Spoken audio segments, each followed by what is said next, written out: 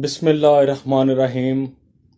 फ़िक्र पाकिस्तान की तरफ़ से नाजरीन, अस्सलाम वालेकुम मैं हूँ आपका दोस्त, आपका भाई मोहम्मद अबूज़र एक नई फ़िक्र के साथ नाजरीन, आपकी खिदमत में हाज़िर हूँ। आज हम बात करेंगे कुछ ड्रामाज पर, माजी के तीन ड्रामे, जिन पर कदगन लगी और उनको बंद कर दिया गया। कुछ नादीदा क़वतों की तरफ़ से, क्योंकि उन ड्रामों में अवाम के लिए अवेयरनेस थी, अवाम के लिए पैगाम था, लिहाजा आपको पता कि दज्जाली सिस्टम में अवाम को अवेयरनेस देने के लिए तो कोई बात नहीं हो सकती। हाँ फाशी के लिए और बेशर्मी की इंतहाओं के लिए ये प्लेटफॉर्म जो है, वो उनके लिए हाजिर है। लेकिन जिसमें कोई काम की बात हो अवाम की बात हो, ढंग की बात हो, वो ड्रामा या चैनल ग्रो नहीं करता। बस ये बदकिस्मती ये कह लें। अब बात करते हैं, हम अपने मौजू की तरफ़ आते हैं। माजी में तीन ड्रामे ऐसे हैं जिनको ऑन एयर तो किया गया, लेकिन नाजरीन, उन ड्रामाज का एंड नहीं दिखाया गया अवाम को। कुछ नादीदा कुतों की ताकत लगा लें या अपना दजाली सिस्टम जिसको फॉलो करता है, उनके एजेंडे में ये बात नहीं है कि अवाम को अवेयरनेस दी जाए, शायद इसलिए ये बंद कर दिए गए। सबसे पहले हम बात करते हैं नाजरीन 1994 उन्नीस सौ चौरानवे।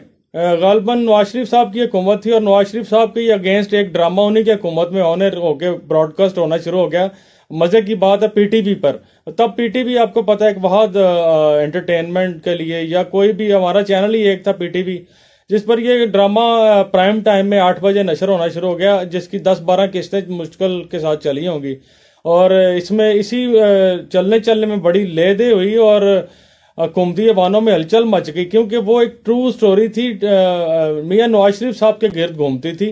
शुजात हाशमी साहब एक बहुत ज़बरदस्त मायनाज फनकार थे हमारे पाकिस्तान के।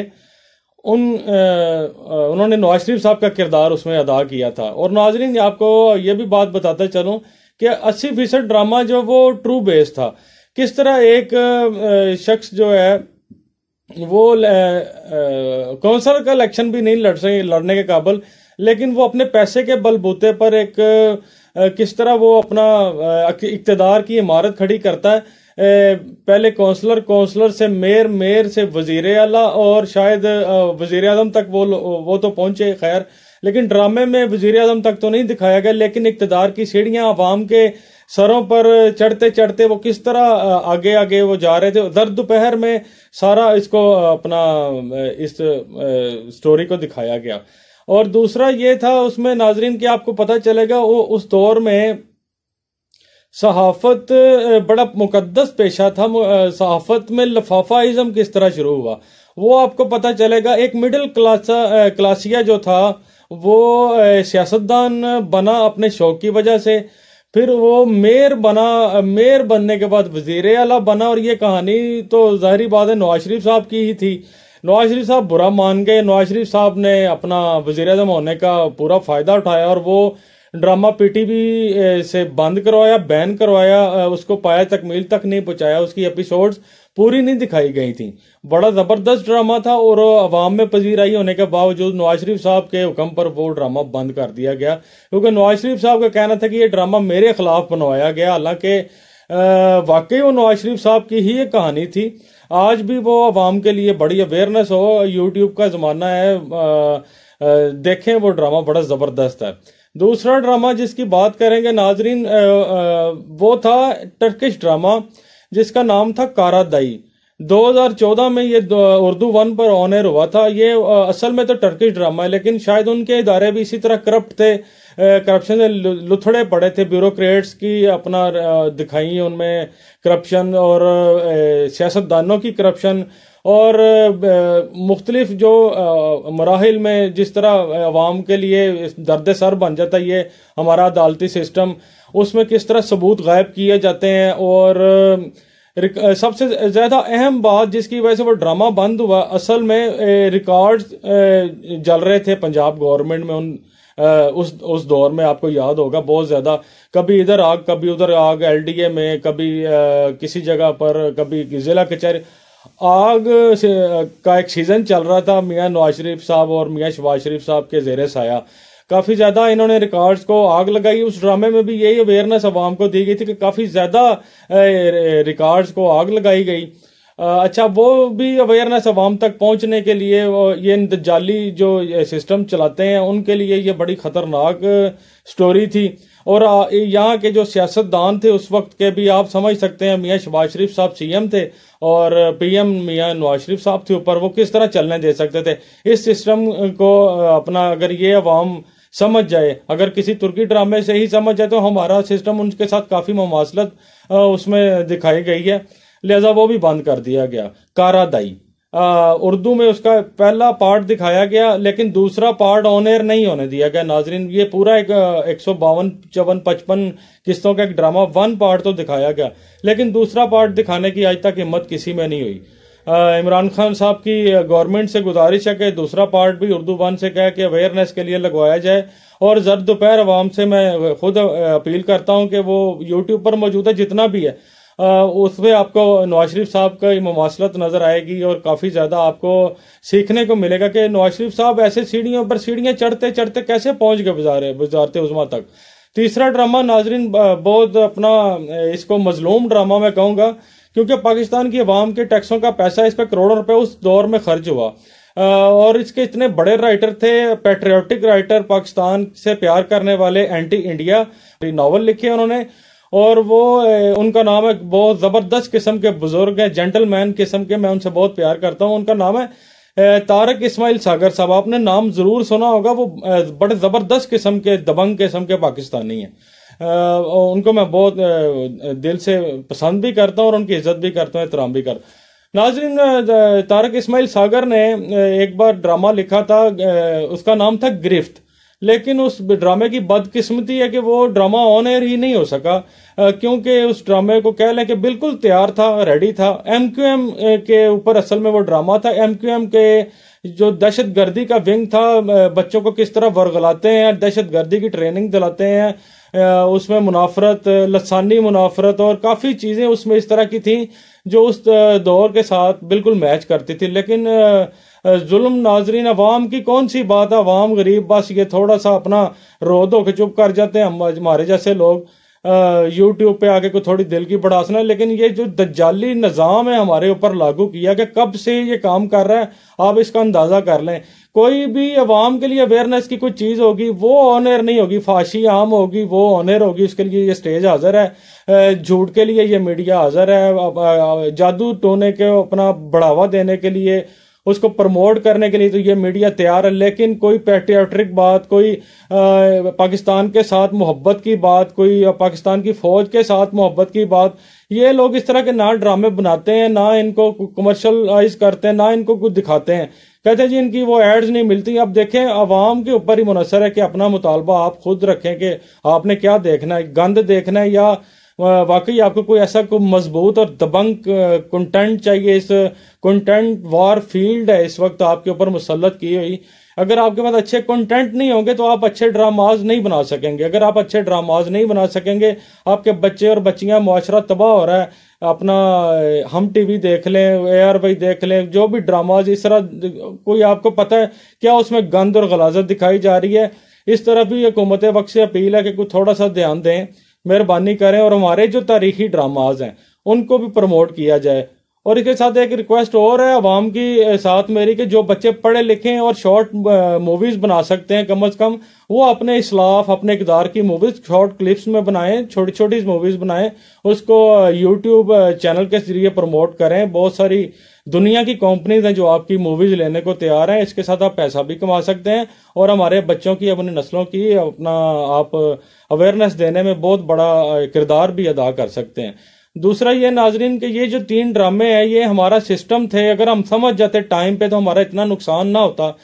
तीस साल पैंतीस साल जो इन लोगों ने हम पे हुकूमत की है आ, हमें अवेयरनेस से दूर रखा तालीम से दूर रखा आ, और किसी भी चीज़ में अवाम की कोई वैल्यूएशन नहीं थी। या ये एक मेहरबानी है कोई इमरान खान गवर्नमेंट की या कह लें इस सिस्टम की या इस मीडिया के तो असर से कि अवाम की कुछ आ, सुनी गई है। अवाम का कुछ किसी ने वज़न महसूस किया कि अवाम भी कोई चीज़ है, अवाम के बगैर वाकई कुछ नहीं है।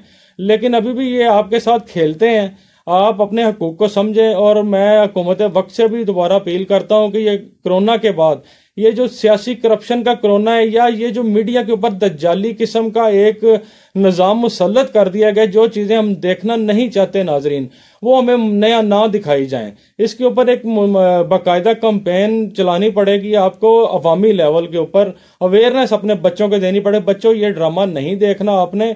इसमें अपना बदतमीजी सिखाई जा रही है। फाशी सिखाई जा रही है। रिश्तों के एहतराम को, तकदस को पमाल किया जा रहा है। लिहाजा नाजरीन, ये हमारे मुआरे के साथ मैच खाते हुए ड्रामे नहीं है। इनको कंटेंट दिया जाता है बाय की एजेंसी से। लाखों करोड़ों रुपया लेकर ये लोग आपको इस तरह का गंदा मवाद दिखाते हैं। बहुत सारे दुनिया में कंटेंट हैं। आप अच्छे कंटेंट पे बनाएँ ड्रामा। आपके बच्चे अवेयर हों, आपके बच्चे अगली नस्लें जो हैं, वो दूसरी नस्लों के साथ किस तरह ये अपना मुकाबला करेंगी आप अपनी नस्ल को क्या तैयार कर रहे हैं। कोई अपना बच्ची जो है बाप के सामने अपने बॉयफ्रेंड को लिए जा रही है, कोई हया नहीं है, भाई का कोई बहन बेटी का एहतराम नहीं रह गया इस टीवी के हद तक। और नाजरीन, ये जो टीवी है ना, इसको आप एक फ़र्ज़ समझें, अपने बेडरूम का चार फर्द फ़र्ज़ करो, आप रहते हैं मियाँ, बीवी, एक बेटा, एक बेटी। पांचवा फर्द या पांचवा बेटा आपका ये टीवी है, ये तरबियत कर रहा है आपके साथ साथ आपके बच्चों की। मेहरबानी करें। अपने जो बच्चों को आप वो चीज़ें दिखाएँ या इस तरह की कोई गाइडेंस दें कि, बेटा, ये गलत है, उनके साथ बैठ जाएँ और जहाँ पे भी ये आपको ट्विस्ट करने की कोशिश करें, बच्चों को आप समझाएँ कि, बेटा, ये हमारी इकदार के खिलाफ है। ये बात दज्जाली निज़ाम कर रहा है, मीडिया कर रहा है। आपने इसके असर नहीं लेना। अगर आप कुछ नहीं कर सकते तो कम अज कम बच्चों को उनके साथ बैठ के उनको साथ साथ बताते रहे। अगर वो अब नहीं बाज आ रहे आपके बच्चे, ये, इस तरह का गंदा जायका लगा दिया उन्होंने कि क्या देखें? हुकूमत से वक्त से ये भी अपील है कि अगर आप कुछ बनाएँगे तो बच्चे हमारे बच जाएँगे, कुछ और भी देख लेंगे, वरना हम इन एन के ही हथों में पड़े हुए हैं और मेहरबानी करें, इनसे भी हमारी जान छुड़वाएँ और ये एक अवामी लेवल पर मुतालबा चलाएँ, अपने हर ट्वीट में, अपने कमेंट में, अपनी हुकूमत वक्त से आप मुतालबा करें कि इन चीज़ों को हमारे ऊपर मुसलत ना करें। एक तो वो जो दूसरा मीडिया अपने सॉरी खबरों वाला, जिसको कहते हैं न्यूज़ मीडिया उन लोगों ने आपका दिमाग खाया हुआ फेक न्यूज़ दे देकर पूरी कौम को डिप्रेस किया हुआ है। दूसरी तरफ़ से आपके बच्चों की तरबियत कुछ इस तरह से की जा रही है कि स्लो पॉइजन दिया जा रहा है। स्लो पॉइजन से बचें। अपने बच्चों को अपनी इकदार बताएँ इस कोरोना के खास अदवार में। जब बच्चों के आप करीब हैं, अपने बच्चों को अपनी इकदार बताएँ, अपनी सलाह बताएँ, बच्चों को बताएँ कि ये आपका मीडिया आपके खिलाफ है। इस मीडिया का आपने अपने जहन से ही मुकाबला करना और आप ही वो बच्चे हैं जिन्होंने इस मीडिया को लगाम डालनी आगे जाके। हमने तो अपने हिस्से की क्षमा नाजरीन जलाने की कोशिश की है। और मैं उम्मीद करता हूँ कि मेरे जैसे हज़ारों लाखों होंगे जो इस दर्द में मुबतला होंगे कि हमारा मीडिया इस वक्त क्या दिखा रहा है। और ये जो तीन ड्रामों का मैंने ज़िक्र किया है, ये नाजरीन, इस तरह के कई ड्रामे बनने चाहिए, लेकिन बदकिस्मती है कि पाकिस्तान के पास शायद या टाइम नहीं है या कोई, ये हमारी पहली फुर्सत ही नहीं है, लेकिन ये पहली फुर्सत बन चुकी नाजरीन, इसको समझना बड़ा ज़रूरी है। वार कंटेंट फ़ील्ड का नाम आपने सुना है। वार कंटेंट जो फ़ील्ड है, पूरी दुनिया इस वक्त उसके ऊपर काम कर रही है। सबसे पहले आपको नज़र आया इसमें आता हुआ तुर्की। तुर्की का जो ड्रामा है, अपना आजकल पीटीवी पर होने रहे उन्होंने जब इस वार फ़ील्ड को अपना पहचाना, उन्होंने इस तरह का ड्रामा बनाया और पूरी दुनिया ने उसको देखा, पूरी दुनिया ने उसको एक फील किया कि ये एक थ्रिल है। ये आग गया कोई इरताश है ज़बरदस्त किस्म का। फिर आपने देखा कि ईरानी कौम ने भी बहुत ज़बरदस्त काम किया इस फ़ील्ड में और उनके देखा देखी और भी बहुत सारे अपना हमारे अरब ममालक के भाई जो हैं, वो शुक्र अलहमदिल्ला काम कर रहे हैं नाजरीन। और आस्ता आस्ता अवेयरनेस पैदा हो रही है। शॉर्ट मूवीज़ बनाए शॉर्ट क्लिप्स बनाए, लेकिन अपने बच्चों की अवेयरनेस के लिए, अपने दिन के एन असास के एन मुताबिक वो बनाए। दूसरा, नाजरीन, एक और बहुत बड़ी कौम बनी इस मीडिया के थ्रू जो मैं आपको पिन पॉइंट करना चाहता हूँ।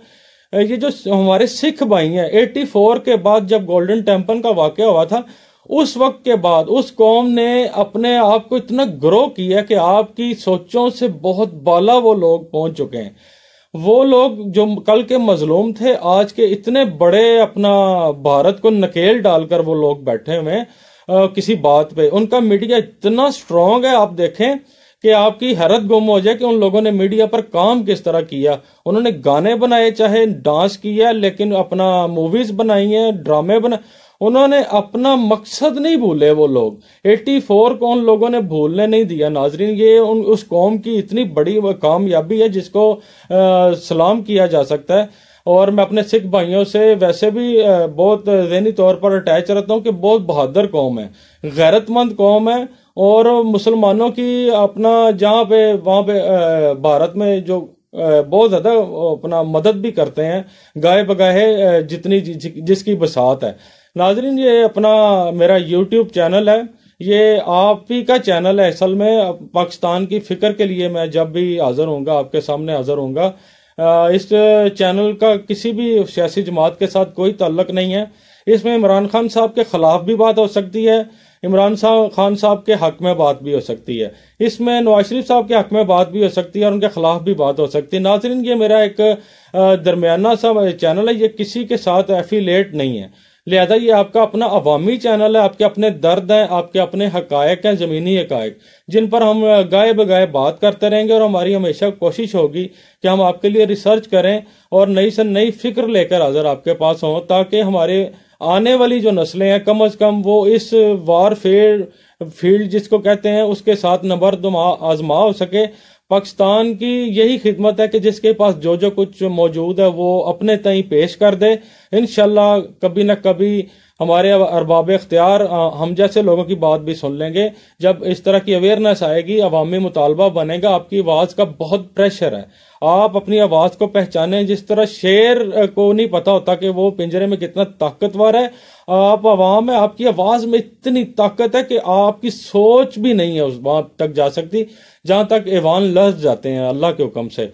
और एंड पे यही है कि ये आपका चैनल है सब्सक्राइब करें अपना लाइक करें और अगर आपको पसंद आया तो कमेंट भी किए करें। ये अपना आप, आपकी आने वाली नस्लों के लिए हम तैयारी कर रहे हैं। और नाजरीन आखिर में अपने कश्मीरी बहन भाइयों के साथ मैं इज़ार यकजहती करता हूँ और फ़लस्तनी मजलूमों के साथ इज़ार यकजहती करता हूँ और मेरे जो जितने भी दुनिया के मजलूम मुसलमान हैं उनके लिए उनसे इजहार यकजहती करता हूँ। फ़िक्र पाकिस्तान के प्लेटफॉर्म से। आ, आ, अपना ख्याल रखिएगा अपने गिरदोनवा का ख्याल रखिएगा और अपने माँ बाप का सिद्ध के दिल से एहतराम किया करें। कुरान करीम को तर्जमे के साथ पढ़ने की कोशिश करें इस बाब बरकत महीने में। और पाकिस्तान की सलामती के लिए हमेशा दुआ गो रहें। दुश्मनों की रेशा दुआनियों से आपको पता होना चाहिए कि दुश्मन का कौन सा तीर किधर से आ रहा है और आपने कैसे काउंटर करना है। नाजरीन, आखिर में पाकिस्तान जिंदाबाद, फ़िक्र पाकिस्तान जिंदाबाद।